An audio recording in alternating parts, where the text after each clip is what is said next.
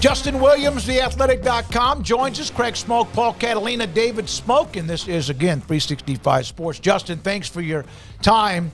So there are so many lawsuits. The NCAA can't win any of them. Now there's the thought about revenue sharing cap, 20 million, the the back pay for 1.4 billion, whatever it might be. What are your thoughts about what you actually think is going to happen to get people out of the courtroom and college athletics back to normal?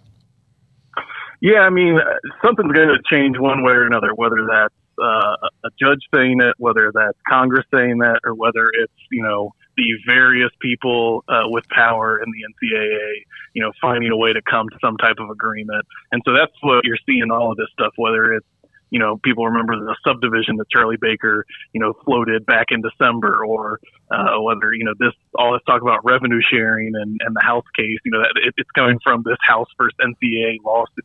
So at some point, you know, here in, in the relatively near future, the next couple of years, there's going to have to be some kind of watershed change. I think the biggest thing that people don't know right now is what's going to cause that. Is it going to be a court? Is it going to be a a judge? Is, is it going to be, you know, Charlie Baker or Greg Sankey or someone in the NCAA making that decision? And, and those are kind of all these details that we're trying to hammer out. And honestly, we don't have a lot of clarity on at the moment. Justin, do you think that this would provide um, at least some sort of pause or ability over the next few years for college athletics to figure out what it needs to be in the 21st century as opposed to what it was in the middle of the 20th century that it's been trying to go back to for so long now and players can build a union and can go to those things while still getting revenue share yeah, it, it does feel like a half measure or a stopgap. You know, in part, the the house case. This is the one that you know when people hear about this case. It's the one that has kind of that four billion dollar potential damages number attached to it. If the NCAA were to, you know, if were to go to trial, and the NCAA were, were to lose, that's a death sentence for the NCAA. So that's why there's talk of, you know, figuring out a settlement, figuring out a way to to find, you know, kind of a, a revenue sharing middle ground. Because the worst case scenario for the NCAA is that it goes to trial and they lose. And they pretty much have to declare bankruptcy. But I, you know, I, I'm with you that I don't know that it's going to be kind of the, the final measure because that 20 million revenue sharing number per school that's been floated out there, that was, you know, an, an average number that was pulled of all the power conference uh, revenues. You know, that, that has nothing to do with the students, you know, employee status or collective bargaining. Um, that's just kind of a number that they pulled out of thin air uh, as an estimate. So there's still a lot of different uh, things that would have to get figured out. A, a, settlement in the House case would maybe take care of some of these other cases uh, that are going against the NCAA right now, but it wouldn't prevent future lawsuits from, from being brought against it. So it, it would be probably a move towards the inevitable future direction that things seem to be going. But I don't have any, you know, belief that whatever comes out of, you know, this particular potential settlement for revenue sharing, I don't think that's going to be kind of the end format that we end up having. Justin, while it's it's not going to be the end, I think we all agree on that. Is this um, you you've heard just like everybody else throughout the course of realignment, is all this this noise that the great separation or however you know you want to refer to it but would this uh, if they were to move forward in this revenue sharing model in a roundabout way be uh, a separation just maybe not the one that people are thinking of when they think of like two leagues breaking off and doing their own thing but more or less like those who choose to pay and those who choose to say hey we can't do it and this is going to be your more typical traditional college football yeah, absolutely. This is going to be a further dividing of you know power conferences and, and what is right now the group of five. And you know we'll even see uh, Dennis Dodd reported last night um, that you know there's the kind of that formation uh, coalition that the SEC and, and the Big Ten put together recently that they're kind of looking on their own at a revenue sharing model. So you know, all right, so what does that look like? Do they bring the Big 12 and ACC along with them when that happens, or or does that further divide the, the power too? That those two are kind of becoming. Uh, but yeah, from you know the this settlement, twenty million dollar revenue sharing number that basically is just for the power conferences. You know, Kessler, the attorney who's who's kind of manning up this this House uh, case, uh, has said that it, it you know, for those group of five programs, they don't have the money to do that. And that's also where you saw, you know, I think the past couple of weeks we've seen a little bit of chatter about the group of five forming their own playoff. You know, all of this is just attached to the growing realization and acceptance that uh, you know these two things unless the same there is a divide that's coming.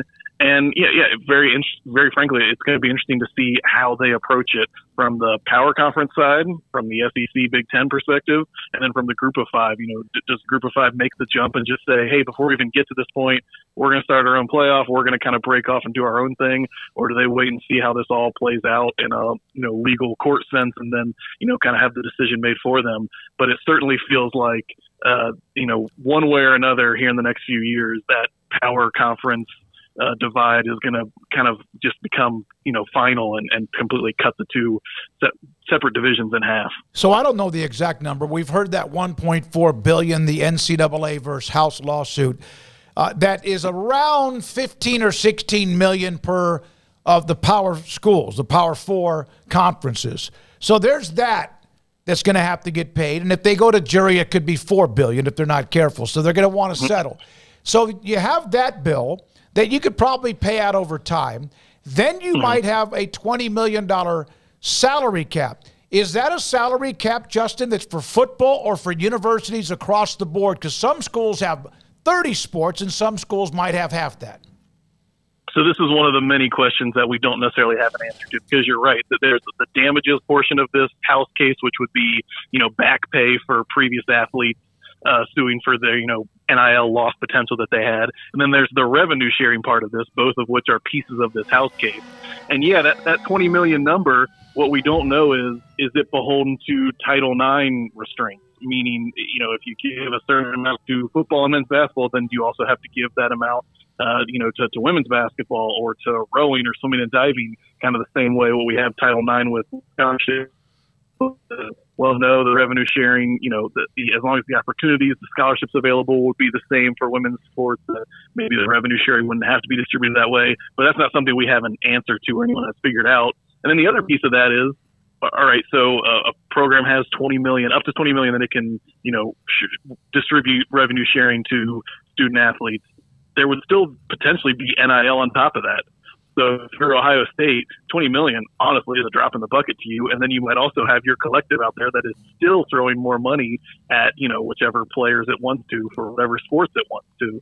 So this isn't going to even like solve the financial disparity that is happening right now within the power conferences or even within, you know, the, the Big Ten and the SEC between those programs. There's still plenty of details that need to be hammered out. And, and in no way would this kind of form like an equal playing field, even among those power conference programs.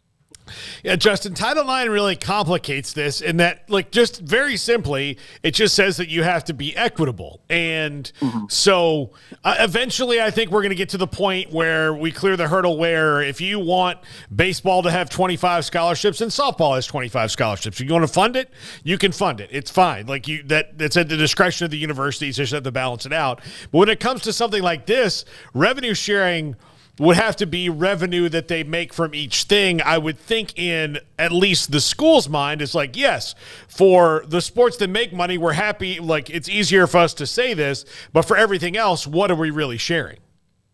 Yeah, and this is you know the, the Title IX um, situation has come up in all of these discussions when the, the subdivision that Charlie put out in December, when that was brought up, and, and the potential of bringing NIL in house. Well, right now, NIL payments, you know, collectives aren't beholden to, to Title IX restrictions. So if, NIL was brought within athletic departments, would that then be beholden to Title IX? Kind of the same thing we're talking about with revenue sharing. So I think whether, again, whether it's a court that decides it, um, whether it's Congress that decides it, one of the biggest pieces of all of these changes moving forward are how does Title IX factor into this? And this is also why you hear, you know, from the athletic department side, from the administrative side, you hear a lot of these programs, a lot of schools saying, hey, if all these changes happen, we're going to lose a bunch of sports. And the reason they're saying that is because it would basically come down to probably football and men's basketball as your traditional revenue making sports. And then, you know, a lot of them are claiming, hey, maybe we'll just have the, the women's scholarships that kind of meet that football, bat, men's basketball threshold. And that talks about maybe getting rid of baseball or getting rid of men's soccer or, you know, men's swimming and diving, things like that. Mean, we're a long way off from that. But when you start to hear people on the academic or, excuse me, on the administrative athletic department side making that argument, this is why they're talking about it because we don't know exactly what role Title IX is going to play in all of this. I've said this for a while, and, it probably didn't register very well because we didn't know what the next level was, and now we see the revenue sharing cap, et cetera. I always thought that Congress needed to do their own job because they don't get enough done in the first place. But if Title IX or women's sports start to be deleted, to me, that's when they would start to feel political pressure. Would you agree? Yeah, I think so. But all of this, I think, is also why Congress has not really, you know, jumped at the chance. Sure, they've held hearings and had meetings and things like that, but we've never really seen kind of a full throated, concerted effort from anyone or either side of Congress to like right. step in and solve this. You know, Congress again. I'm I'm not a political reporter, but they don't really seem to have a problem kind of sticking their nose in certain situations. This is one where they're like, yeah, they I think see the same kind of issues or potential problems that could pop up. And you're right, maybe Title IX is the thing that makes them realize, hey, someone needs to jump in and, and be the adult in the room, got to figure out that we don't want to lose opportunities for women's sports or just some of these other Olympic sports that would, you know, maybe pushes Congress this way. But I also think there's a lot of people in Congress that are looking at it saying, why don't we let you know some of the court cases kind of resolve and, and mm-hmm. see what happens there and then move forward because all the problems that we're talking about, a lot of them don't have obvious or easy solutions. That's something that people in athletic departments have known for a long